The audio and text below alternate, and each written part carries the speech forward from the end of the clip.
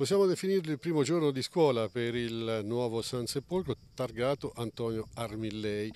Come comincia questo San Sepolcro, mister? Ma cominciamo con, uh, io mi auguro nel migliore dei modi, cioè c'è tanto entusiasmo, tanta voglia di iniziare e quindi lo spirito è quello giusto.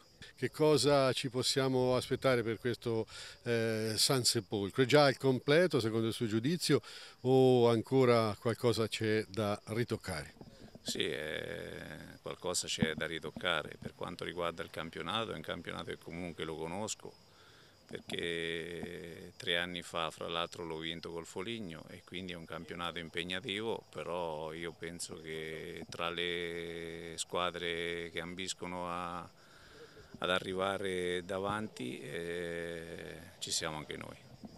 Una società che si è anche diciamo così, parzialmente rinnovata, quindi tanto entusiasmo eh, per cercare di eh, far sì che il Buitoni, il mitico Buitoni, torni a essere un eh, terreno difficile da conquistare per chiunque.